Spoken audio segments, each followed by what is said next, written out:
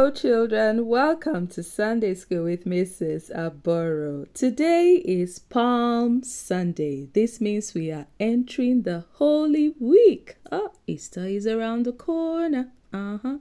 Yes, Holy Week is a special time in the church, a period of seven days that um, gives us a whole week of special things to remember about the last days in the life of Jesus. Children, the Holy Week or the Passion Week begins with Palm Sunday.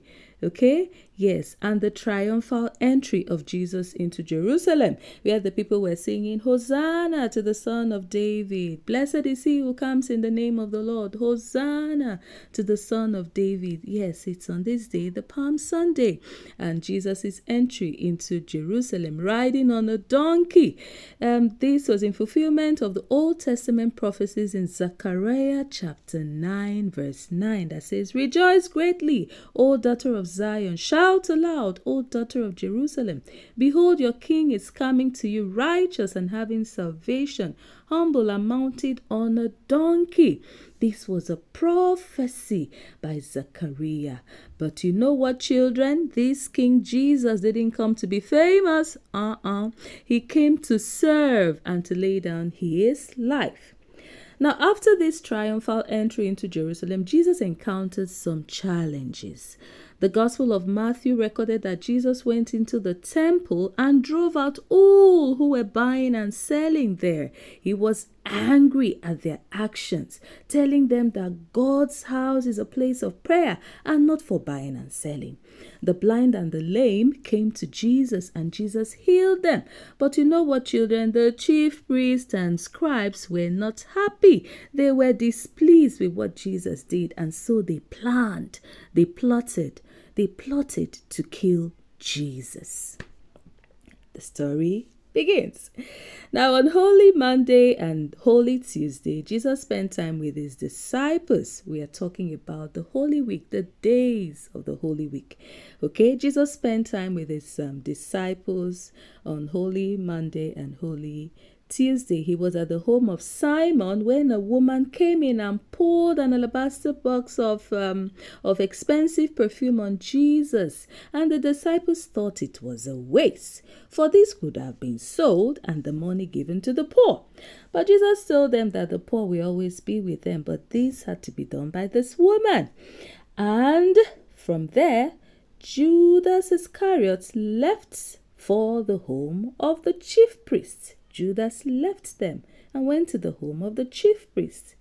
And so on Holy Wednesday, called Spy Wednesday. You know, a spy is someone that gives information, okay, about people, yes, to the enemy, okay? So Judas acted um, as a spy for the enemy, the, the chief priest and the scribes. And so that's why it's called Spy Wednesday. Now, Jesus, Judas went to the chief priest and asked what will be given him if he delivered Jesus to them. And what did they give him? 30 pieces of silver. How sad. And he left them. Then on Holy Thursday, children, we recall the event of the Last Supper of Jesus with his apostles. It is called Maundy Thursday because Jesus mandated or Jesus commanded his apostles to love one another. He gave them that command on that day love one another. By this, the world will know that you are my apostles. Jesus gave them that command. You must love each other. It is also on this Holy Thursday that the Holy Eucharist and the priesthood were established. Okay? Remember, Jesus told them, Take and eat. It was the feast of the Passover. So um, there was bread there and wine. And Jesus told them, Take this bread, eat it. It is my body. He also gave them the wine. Take and drink. It is the blood of the covenant.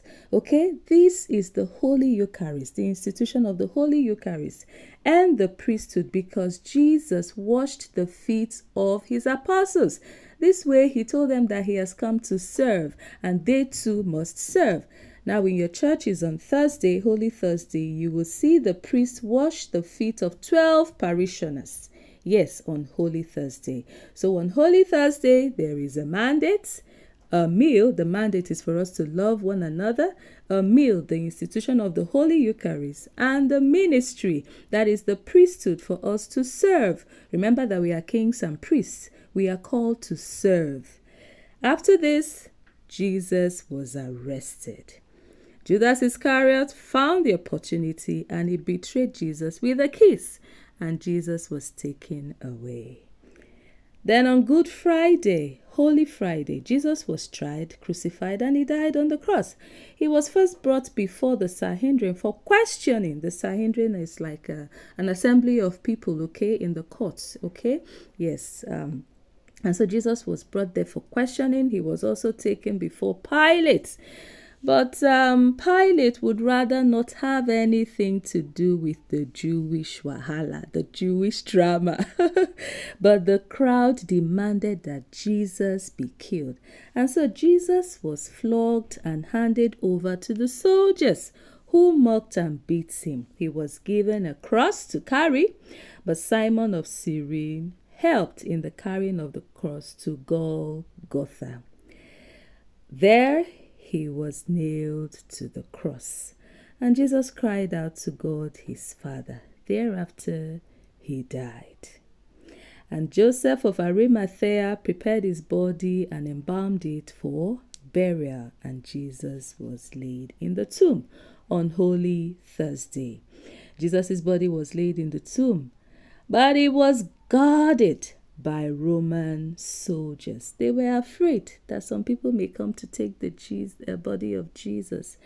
But that did not stop what happened thereafter. You know, Jesus rose again on the third day. But that's a story for Easter Sunday, okay? Yes, children. Jesus paid the penalty for sin by offering the perfect and spotless sacrifice. And everywhere was dark, people wailing and waiting in grief. But then Easter Sunday comes in hope.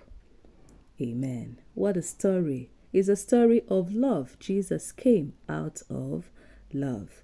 Let us take our memory verse. It is from Philippians. I like this verse. It says, He humbled himself and became obedient to death, even death on the cross. Who was he? Jesus. Jesus humbled himself and became obedient to the cross to death, even death on the cross. Let us pray. Position for prayer. Dear Father, thank you for your love for me. Oh, yes, you sent Jesus, your Son, to pay the price for my sin. Thank you, Lord. Amen. In the name of the Father, the Son, and the Holy Spirit. We come to the end of today's Sunday school on the Holy Week. Jesus loves you and he cares for you. Till next Sunday, it is bye from Mrs. Aboro. God bless you.